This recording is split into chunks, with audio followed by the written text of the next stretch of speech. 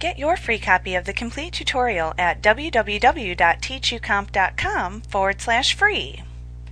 In order to perform almost any task on a layer, you must first be able to select it. You can select a layer by using the Layers panel to click on the layer that you'd like to select. Just like that. Then any changes that you make will affect only the selected layer, protecting the content of the other layers. However, this can also be a source of aggravation for new users. If you're trying to make a change to an image and you find that the changes that you're trying to make aren't being applied, first check to make sure that you have the correct layer selected. This is really easy to forget when you're first starting out using layers, so be sure to double check your layer selection before making a change in a layered image file. Now you can also hide or show layers in a layered image file. To change the visibility of a layer, click the eye icon at the left end of the layer or layer set to toggle the selected layer's visibility on or off. Just like that. You can do that with any of the layers. Now a neat twist on this is used when you want to view only a single selected layer. In that case, you can hold down the Alt key on your keyboard and then click on the eye icon of the layer or layer set that you want to view. All of the other layers will have their visibility turned off. So this can be really nice when you want to concentrate on working with a specific image element in a layer without the distraction of content of other layers. So for example, I can hold down the Alt key give it a click and you'll see all those other layers disappear and just do the reverse to make them reappear. Now you can also quickly duplicate a layer to create another copy of the content in the image or in another image file for that matter. Be aware that if you duplicate the layer in an image file with a different pixel resolution, that the layer's content may appear a different size than you intended. Now, if you want to create a duplicate layer, just click and drag the layer in the Layers panel and then drop it on top of the New Layer button.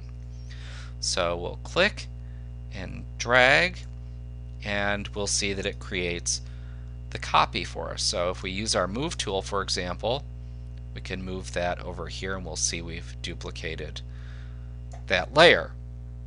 Now you could also do that by selecting a layer, then go up to the menu bar and select Layer, Duplicate Layer from the menu bar.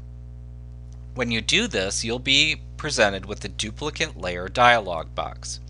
In this case, you would enter a name in the As text box right here, and then you would use the Document drop-down to select into which of the open image files that you have that you want to copy the duplicate into.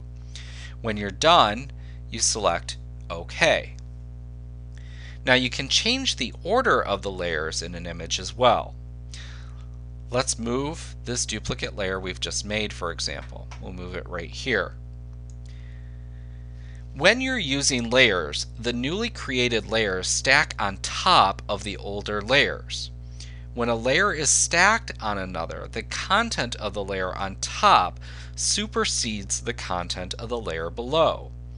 You can change the order of layers in a stack very easily by simply clicking and dragging the layers up or down in the Layers panel. The bottommost layers are shown at the bottom of the Layers panel, increasing in order through the stack up to the topmost layer. So for example, we could take our copy of this and move it down here and you'll see that we change the order and thus the look of our image. Now you can also link layers to allow you to move their content together. Also when you perform activities like copying and pasting the layers, the linked layers will be treated as if they were the same. So if you'd like to link two layers together, to do that, you select the two layers. In this case, we'll select our text layer here, and then hold down the control key to select your other layer, and we'll select this layer here. and then click on the chain link icon to link those two together.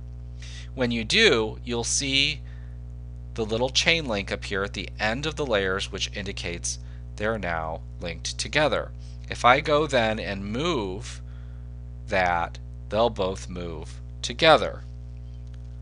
And then of course you can also click the chain link again, it's a toggle button, to unlink those layers that were previously linked.